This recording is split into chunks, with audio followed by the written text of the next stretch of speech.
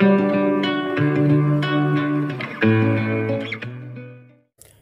everyone, this is Preeti Ghosh and today we are going to discuss the exercise questions of class 4 chapter 7 clothing our basic need. Also you can get the answers for quick assessments given in your textbook on my Facebook page. So you can follow me on my Facebook page and Instagram handle. Links are given in the description box. Also, if you are new to my channel, do consider subscribing it right now and press the bell icon for latest updates. And if you haven't seen the explanation of this chapter, links are given in the description box. So, without further ado, let's start with today's class. Section A Choose the correct answer. Question number 1 the early men used to protect his body from heat and cold by covering himself with जो पहले के लोग होते थे early human beings होते थे या early man कह लीजिए, वो अपनी बॉडी को हीट और कोल्ड से बचाने के लिए क्या करते थे? They use to wear animal hide ठीक है? So the correct answer is option A animal hide okay moving on to question number two the fiber not obtained from animals is इनमें से कौन सा ऐसा फाइबर है जो कि एनिमल्स से नहीं मिलता? Answer will be option B polyester question number three the cloth that absorb sweat and keeps the body cool इनमें से कौन सा ऐसा क्लोथ है, कपड़ा है, जो कि हमारे पसीने को सोख लेता है और हमारी बॉडी को ठंडा रखने में हमारी हेल्प करता है? So the answer is cotton question number four the article to be kept between the clothes to keep away insects is ऐसी कौन सी चीज़ है जिनको क्लोथ्स के बीच में, कपड़ों के बीच में रखने से वो इंसेक्ट्स को दूर रखता है? इंसेक्ट्स के जो अटैक से क्लोथ्स को प्रोटेक्ट करता है। So the answer will be option C moth balls next question number five clothes do not protect us from इनमें से किस चीज़ से क्लोथ हमें प्रोटेक्ट नहीं करता? कपड़े हमें प्रोटेक्ट नहीं करते। So the options given is heat, thief, rain and cold. So the correct answer for this question will be thief. That is चोरों से protect नहीं करता बाकी धूप से बचाता है rain से बचाता है cold से बचाता है. So the correct answer will be thief. Next, moving on to section B, asking give short answers. In that, question number one, how are clothes useful to us कपड़े हमारे लिए यूजफुल कैसे हैं?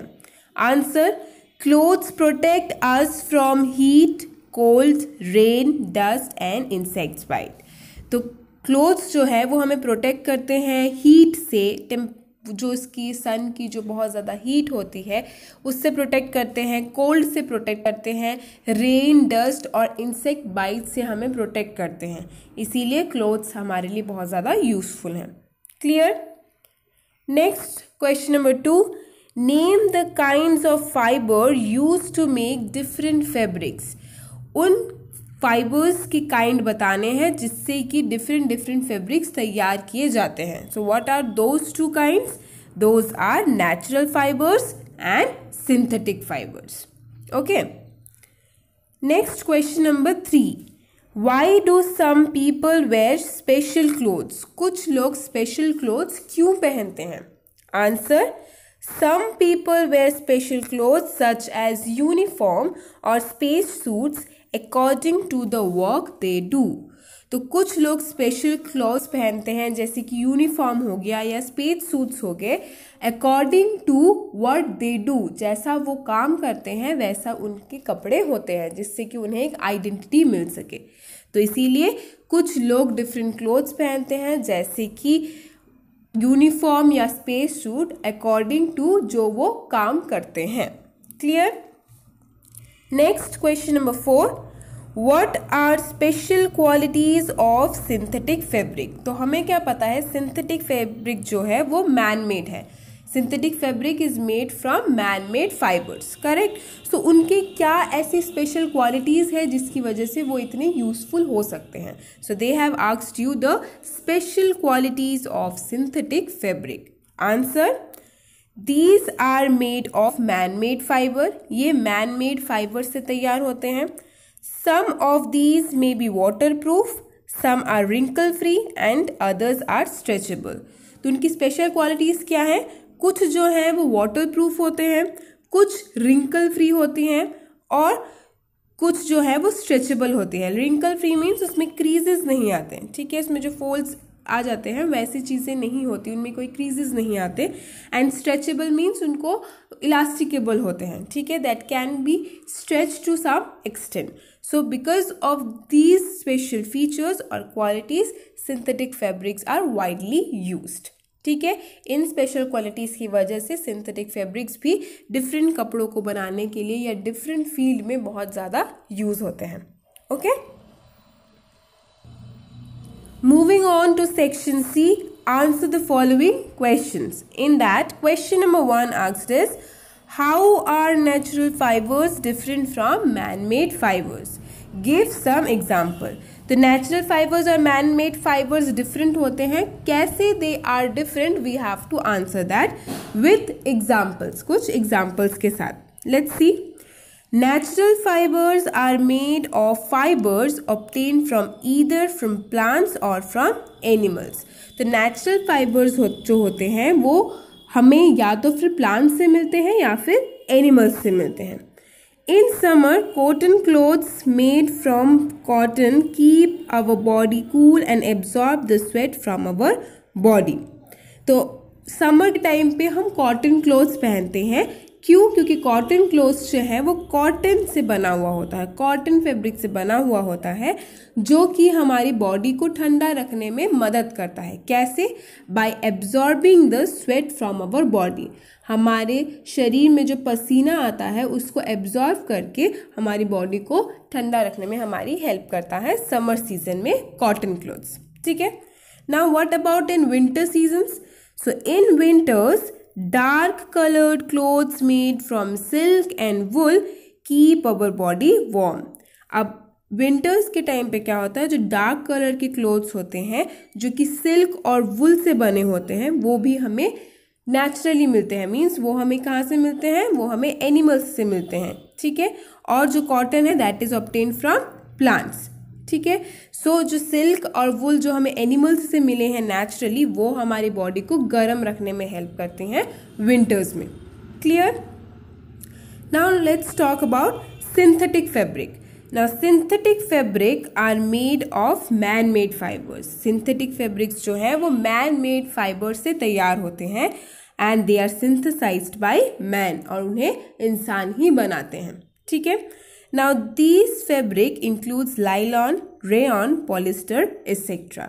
अब इनके क्या क्या एग्जाम्पल्स हैं? Examples could be nylon rayon then polyester ठीक है? अब इनकी क्या स्पेशलिटी है? Some of these fabrics are waterproof कुछ वाटर प्रूफ होते हैं कुछ रिंकल फ्री होते हैं एंड सम आर स्ट्रेचेबल कुछ स्ट्रेचेबल होते हैं। ठीक है? So these are the differences between natural fibres and man made fibres question number two how can you take care of your clothes हम कैसे अपने कपड़ों की देखभाल कर सकते हैं? So we can take care of our cloth as follows first क्या है?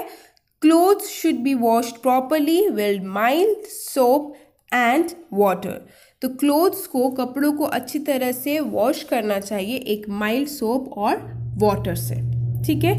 नेक्स्ट क्या करना चाहिए? Cloth should be iron before use clothes को अच्छे से आयरन कर लेना चाहिए यूज़ करने से पहले। अब इससे क्या होता है? हमने एक्सप्लेनेशन के टाइम पे चैप्टर एक्सप्लेनेशन के टाइम पे पढ़ा था कि आयरन करने से क्या होता है? उसके अंदर कोई जर्म्स प्रेजेंट होते हैं तो उस हीट की वजह से वो जर्म्स मर जाते हैं। तो इसीलिए हमें क्लोथ्स को पहनने से पहले they should get iron okay next क्या है? Wet cloth should be avoided as they cause itching तो वेट क्लोथ्स नहीं पहनने चाहिए और वेट क्लोथ्स को अवॉइड करने चाहिए स्टोर करने से, क्योंकि अगर हम वेट क्लोथ्स पहनेंगे बाद में, या तभी वेट क्लोथ्स पहनेंगे तो इट कैन कॉज इचिंग ठीक है? हमें खुजली हो सकती है because of that wetness so इसीलिए we have to dry our clothes properly then iron it उसके बाद हमें उसको पहनना चाहिए. ठीक है? Moving on to question number three how should you store your clothes तो हमने देखभाल कर लिया अब how should we have to store उनको कैसे पैक करके स्टोर करके रखना चाहिए? पहला क्या है? Cloth should be store properly clothes को अच्छे से प्रॉपरली स्टोर करना चाहिए। सिल्क और वुल के जो क्लोथ्स हैं, उनको स्पेशल देखभाल की ज़रूरत है। So silk and wool in clothes needs special care now they must be dry clean before being pack उनको ड्राई क्लीन करवा लेना चाहिए, उनको पैक करके रखने से पहले। देन मोथ बॉल्स और dried neem leave should be use in packing to keep insects away तो ये जो कपड़े होते हैं, उनमें इंसेक्ट्स अटैक कर सकते हैं। इसीलिए इंसेक्ट्स को दूर रखने के लिए हमें क्या करना चाहिए? मोथ बॉल्स या नीम के पत्तों को ड्राई नीम के पत्तों को कपड़ों के बीच में रख देना चाहिए, जिससे कि जो इंसेक्ट्स है, वो उनमें अटैक करके कपड़ों को खराब ना कर दें। So these are few ways by which we can store our clothes properly clear Okay students, so that's all for today's video. Also, this marks the ending of this chapter. In our next video, we will come up with another chapter of class 4. Till then, stay tuned and thank you.